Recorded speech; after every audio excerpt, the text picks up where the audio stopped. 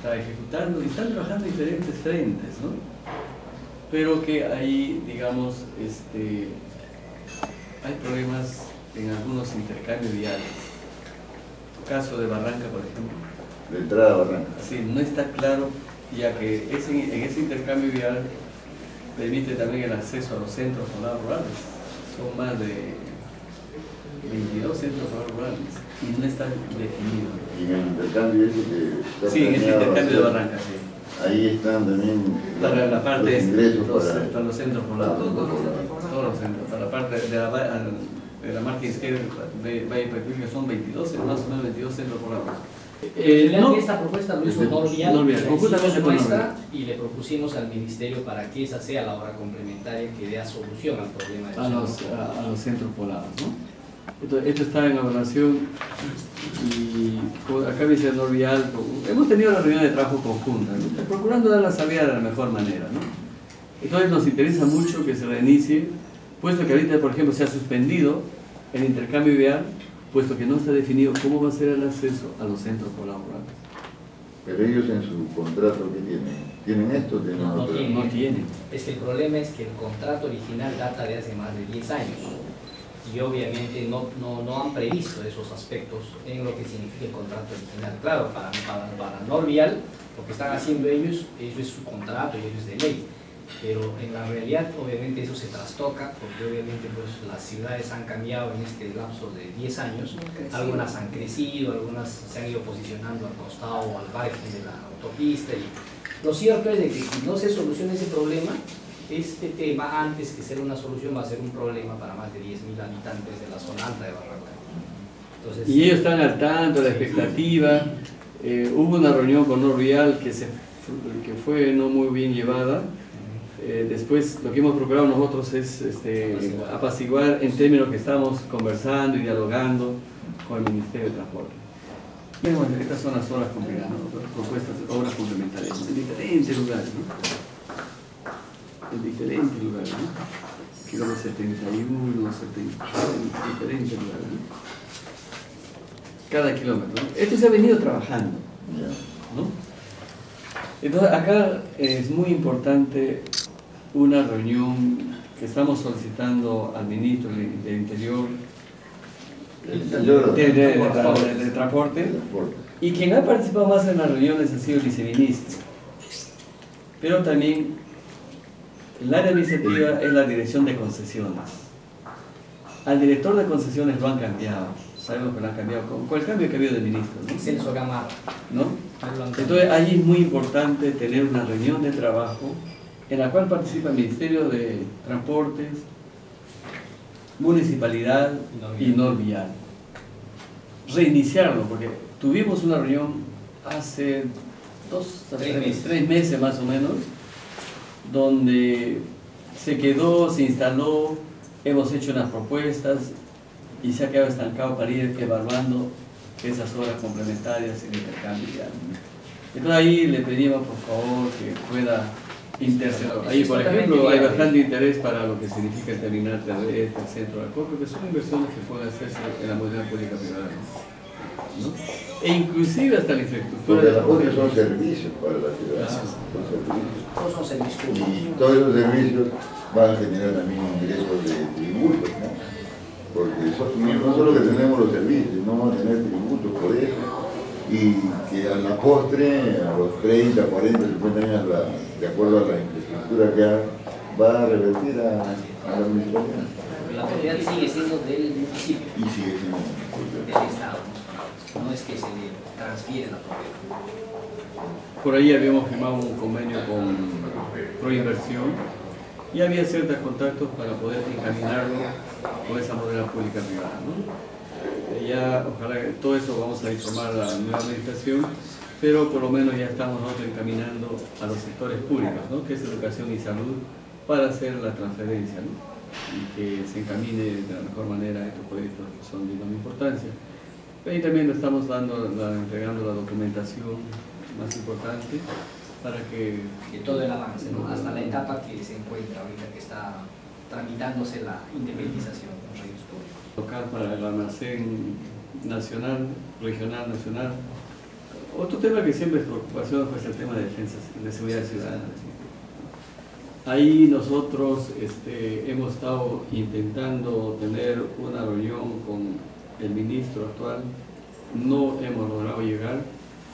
Sabemos que es muy ocupado, pero que nos puede derivar con alguien, ya que en Barranca, bueno, la incidencia directiva sabemos que estamos en el primer lugar, en una estadística negativa en realidad, somos conscientes de eso. Y eh, con los ministros anteriores habíamos eh, logrado, por lo menos manifestar la voluntad. Lástima que no llegamos a firmar un documento o algo así, para la creación de la División Policial Barranca Cajatán. Nosotros, cuando iniciamos las gestiones sobre seguridad ciudadana,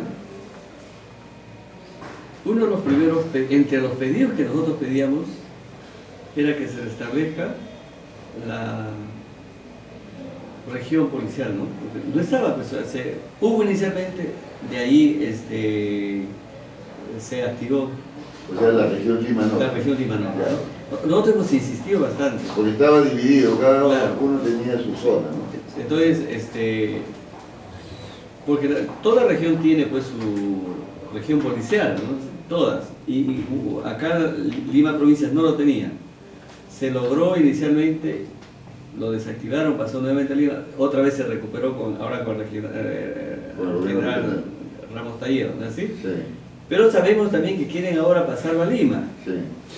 Entonces, inobjetablemente a eso nos oponemos nosotros, ¿no? puesto que eso no va a permitir una buena gestión, desarrollo de, de actividades eh, en un tema tan álgido, central, ¿no? Claro, y por la distancia que tenemos pues desde Barranca hasta Guarán, y tenemos Ollón Cacatán, ¿no? Y agregarle, y de repente de, de Rima a Cancún es corto el espacio, pero la cantidad de población que tenemos ahí, creo, que triplica lo que tenemos en esta zona, entonces, ¿de qué hablamos, no? Bueno, nosotros en realidad comulgamos muy bien con, el objetivo y nosotros venimos desarrollando ya la, la ejecución de este proyecto desde abril. Y el expediente técnico en, realidad tiene muchas oportunidades de mejora en cuanto a las obras complementarias y creo que eso viene siendo manifestado por, los usuarios ya de una manera continua. Eh, se traduce en pedidos de puentes peatonales, accesos eh, de ingreso y salida para la carrera. Lo que pasa es que el proyecto es muy amplio, muy ambicioso en su, en su utilidad, porque es un proyecto de interés nacional pero yo creo que si no le damos un poco más de fuerza al tema de las obras complementarias, sería tener como un diamante eh, que todavía podría ser mucho más aprovechable. Eh, y creo que es oportuno ahora porque estamos en proceso de, ejecución. Podría ser más costoso después cuando ya está, digamos, la, la, obra más avanzada y hay que regresar con recursos para, para volver a hacer un trabajo que tal vez pueda haber sido más, más rápido y económico hacerlo en el, en el momento que es ahora. Ahora, todavía tenemos recién pues, aproximadamente unos seis meses de ejecución. Todavía nos queda más o menos año y medio. Entonces, eh, sí, nosotros venimos recibiendo eh, a través de Notial y también a través de diversas entidades comunidades que se necesitan. Y Notial ha canalizado bien todo un listado de obras complementarias. De nuestra parte, como, como, expertos en la construcción, podemos dar nuestros puntos de vista, sugerencias, para que la constructabilidad y el costo sea el más óptimo. Porque creo que finalmente lo que se busca es ahorrar, pero, pero también hacerle el trabajo. Como debe ser. Como debe ser, ¿no? Ahora, este, hay algunos cambios que vienen surgiendo con una actualización en, en la ingeniería el manual de diseño, por decirlo así, se está actualizando, se ha actualizado. Entonces, eh, actualmente el proyecto viene siendo actualizado a, ese, a, ese, a esa nueva, nuevos parámetros de diseño.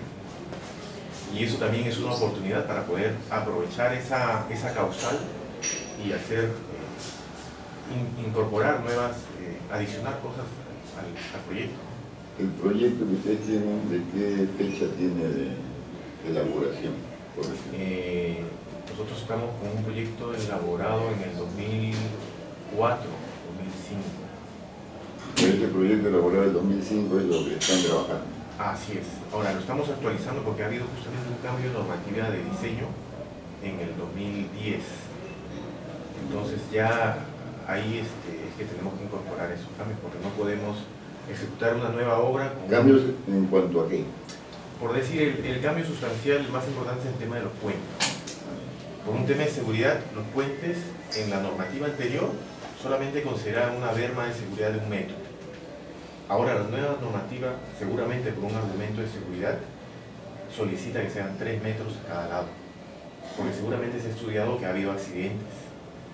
Entonces, los nuevos puentes que hagamos nosotros tienen que incorporarse con esos cambios. Tienen que incorporarse. Pativilca, Hay varios, hay el puente sobre el río de Pativilca, el de Huaura, el Supe, y además hay intercambios viales, que son los cruces, ¿no? para las líneas principales, que también tenemos varios importantes. o sea, son aspectos de carácter técnico, ¿no? Digamos, ¿no? De- Carácter técnico y asociado con la seguridad, que, que creo que es lo que, lo que se requiere.